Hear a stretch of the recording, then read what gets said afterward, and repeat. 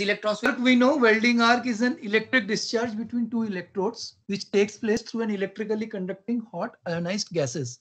So welding arc definition, you know, two electrode in this case, uh, one is the welding electrode and another is the base plate. Base plate also we are treating it as an electrode. Of course, it is not an electrode, but still, since it is a metallic element, we treat it as an electrode. Okay, this discharge is initiated by an avalanche of electrons emitted from the hot cathode and maintained by the thermal ionization of the hot gas. As I've told you, initially electrons are emitted from the tip of the electrode wire. They move through the gap between the electrode wire and the base plate. While moving, they ionize the gases. So the ionized gases also form a conductive medium. And then it is a self-sustaining process. More and more electrons will come, more and more gas, more and more gas will be ionized. And since the gas is ionized, it is becoming more and more conductive. So more and more electrons will come. So ideally arc should be self-sustaining but due to some uh, problems, some practical problems, the electrode wire composition may not be same throughout. Some atmospheric disturbances may be there. The base metal composition may vary. The gap between the two electrode may keep on varying. So many problems are there that therefore arc stability is an issue. Okay. Welding arc, it has a high current up to 2000 ampere and low voltage 10 to 50 volts. Uh, these are the general values. These are not hard and fast, of course. Uh, whatever you want, you can have as I told you, know, welding is a very flexible field. Whatever you have, whatever requirements are there, you can do it. But you should remember what are the constraints of it. Okay. Electrons emitted from the cathode passes through the hot ionized gas and merges into the anode where they get condensed and are absorbed. And this cycle keeps on continuing. So how the arc forms, we have uh, discussed it in a lot of detail in a previous uh, course, MEC 402. We won't be discussing it that much. So I want to show you a video this is a video which I'll be playing and uh, just see whether you can uh, see it or not, right? And then tell me whether you. When the arc is struck, it almost instantly creates a temperature of about 6,500 degrees Fahrenheit. This melts both the base metal and the metal in the. Whether you're able to see that uh, video? Yes, sir, we can able to. दिखाई दे रहा है ना चलो Yes, sir. ठीक है ठीक है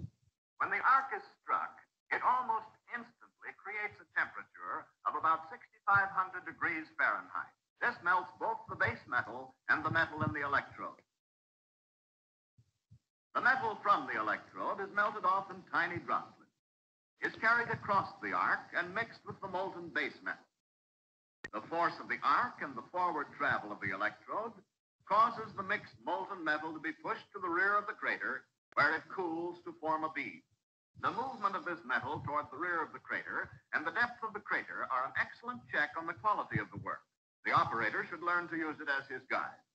At the same time that the metal is melting, the coating on the electrode is being consumed. This takes place slower than the melting of the electrode, which shields the arc and helps direct the flow of metal. It also permits the use of higher currents, with the resultant faster deposit of weld metal. A gas is formed, covering the arc with a protective shield that prevents the exposure of the molten metal to the air and therefore prevents the formation of harmful oxides and nitrides in the deposit. Also from the coating, chemicals acting as cleansing agents enter into the metal to help to remove the impurities. These chemicals with the impurities float to the top and cooling form a coating or slag over the bead. This slag causes the molten metal to cool more slowly Okay, so uh, this uh, gave you some idea regarding the actually how does an arc look like, right? And uh, also uh, it told you about the function of the flux uh, in a little detail. That uh, flux it will form a slag, it will form gases, it will protect the molten metal which is being transferred and all. So I hope you know how does an arc look like. Now uh, next is the type of welding arc. So welding arcs can be different types. It can be a stationary arc or a fixed arc, or it can be a mobile arc. The arc uh, keeps on moving. Okay, so um, today we'll see this type of welding arc, which is a stationary arc or a fixed arc. Such type of arc is formed between a non-consumable electrode and a workpiece. So a very prime example of this type of arc is a TIG, TIG welding, GTAW welding, gas tungsten arc welding or tungsten inert gas welding, right? There the arc is between a non-consumable tungsten electrode and the base metal. So the arc may be used with or without a filler wire. So as we know, GTAW can be done with a filler wire or without filler wire. In such arcs, most of the heat going into the non-consumable electrode remains unutilized. Since there the molten metal is not being transferred, since the arc, uh, the electrode is not consumable, therefore there is no transfer of molten metal from the electrode to the base plate. Therefore the thermal efficiency is quite low, right? And such type of uh, such type of arc, such type of welding process uh, may require use of a cooling uh, water also. The co water cooling has to be done. So we'll see one such type of an arc. This is an example of GTAW using a filler wire. So two cylindrical plates are being welded through GTAW. So as you can see the GTW torch, it may be being moved with robotic, but uh, the filler wire was moved with hand. So you can see this type of weld has been has been made.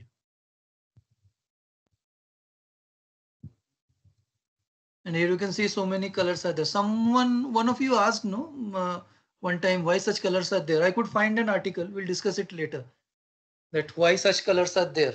Such colors are indicative of the temperature which uh, that part is uh, reaching. So we will discuss it later. So that was uh, GTAW with a filler wire. Now this will be a GTAW without filler wire.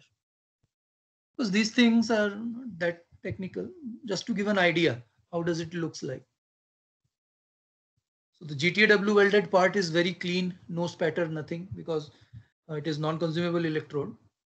For critical applications, GTAW we prefer, because it cannot go for very thick things. But here you can see the GTAW electrode is also very thick. And uh, somewhat thick plates are being attempted to join. See here, this is the type of joint which we are getting.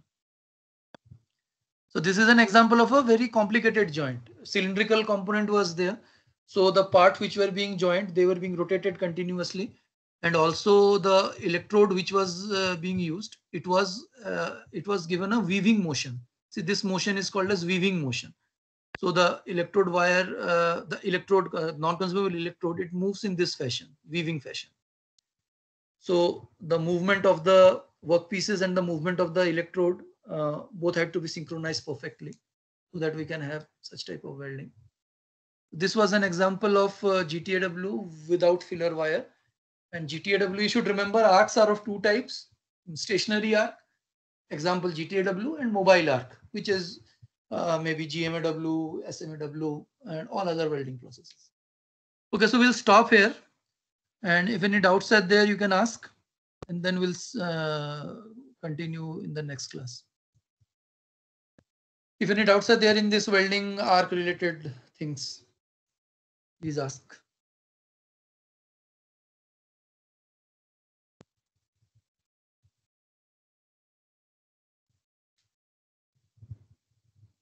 बोलो भाई कोई doubt है किसी को? नहीं है तो वो भी बोल दो।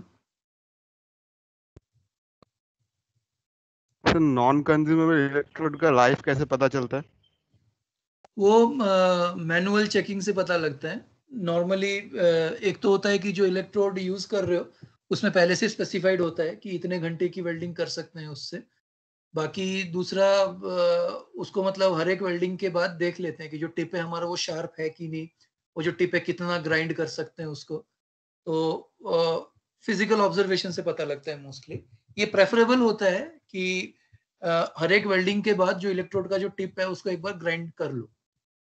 लेकिन नया, नए इलेक्ट्रोड में उतना नहीं भी ज़रूरत पड़ता, लेकिन जब थोड़ा सा पुराना हो जाता है, अभी थोड़ा सा पुराना मतलब कितना पुराना ये सब जो बंदा काम कर रहा है, उसको हैंडल कर रहा है, उसको आइडिया रहता है। इलेक्ट्रोड कब खराब हो गया है।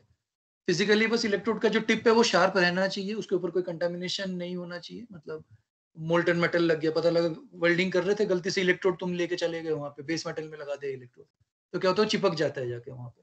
फिर उसको खींच के निकालना पड़ता है कट करके निकालना पड़ता है तो टिप होता है वो डैमेज हो जाता है। तो उसकी टिप को शार्प करना पड़ता है। और ये कॉमनली हो जाता है, ये कॉमन मिस्टेक है। तो टिप को शार्प कर करके अब कितनी बार शार्प कर सकते हैं? शार्प करने के बाद वो बचा है कि नहीं ठीक से वो सारी चीज़ें देखनी पड़ती हैं। तो लाइफ को वैसे ही पता लगता है लाइफ का। बाकी एक दूसरा एक प्रेस्क्राइब होता है वो लिखा होता है उसके बॉक्स में इतने घंटे की वेल्डिंग कर सकते हैं इससे। सर मूवेल मूवेबल आर्क को और फिक्स्ड आर्क में थोड़ा ये थोड़ा डिफरेंस अगर आप बता दे। मूवेबल का नाम से क्या समझ में आ रहा है? वो मूव करेगा? और फिक्स्ड आर्क में क्या है कि आर्क फिक्स रहेगा एक जगह पे तो हाँ। तो देख लिया ना आज मोबाइल आर्क का अगली क्लास में देखेंगे और उसमें हम देखेंगे कि कैसे होता है। मोबाइल आर्क को समझने के लिए बस वो कैथोड स्पॉट याद रखना कैथोड स्पॉट क्या पड़ा था? फिक्स आर्क मोबाइल कैथोड हाँ mobile cathode spot fixed arc में ये होता है कि आर्क जहाँ पे बना केवल उसी पॉइंट पे रहता है कहीं हिलता नहीं है वहाँ से। और मोबाइल आर्क में क्या है कि एक पॉइंट में आर्क बनता है, उसके बाद जब वो पॉइंट कंज्यूम हो जाता है, अगले पॉइंट में शिफ्ट हो जाता है। इन दोनों पॉइंट के मतलब बोल तो मैं रहा हूँ ना कि एक पॉइंट में रहता है, फिर दूसरे पॉइंट में चला जाता है। लेकिन इसको विजुअलाइज ऐसे मत करना कि कहीं और दूसरे इलेक्ट्रोड में चला गया। एक ही इलेक्ट्रोड के सरफेस पे अलग अलग लोकेशंस पे चलता रहता है। और दोनों पॉइंट्स के बीच का डिस्टेंस भी बहुत ही कम होता है माइक्रॉन्स में होता है। और एक सेकंड में कई मिलियंस ऑफ़ टाइम्स ये शिफ्टिंग होती रहती है तो ये बहुत ही फास्ट होता है। और बहुत पास पास होता है। मोबाइल आर्क में होता है। ये बात करेंगे मोबाइल आर्क की अगली क्लास में। आज तो ये देख लो फिक्स आर्क देख लो।